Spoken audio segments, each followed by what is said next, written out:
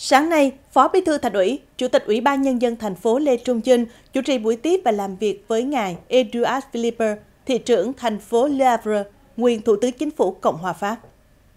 Tại buổi tiếp, Chủ tịch Ủy ban Nhân dân thành phố Lê Trung Chinh cho biết năm 2023 đánh dấu 50 năm ngày thiết lập quan hệ ngoại giao và 10 năm đối tác chiến lược Việt Nam-Pháp, đồng thời thông tin đến thị trưởng Eduard Philippe vị trí địa lý, kinh tế xã hội, các định hướng phát triển trong tương lai của Đà Nẵng. Theo Chủ tịch Ủy ban Nhân dân thành phố Lê Trung Chinh, Đà Nẵng và Le Havre có nhiều điểm tương đồng với nhau về văn hóa, giáo dục, sản xuất kinh doanh. Vì vậy mong rằng thời gian tới hai địa phương sẽ đẩy mạnh hợp tác cùng nhau phát triển. Thành phố cam kết hỗ trợ tạo điều kiện tối đa để các doanh nghiệp, tập đoàn của Pháp đến hợp tác đầu tư tại Đà Nẵng.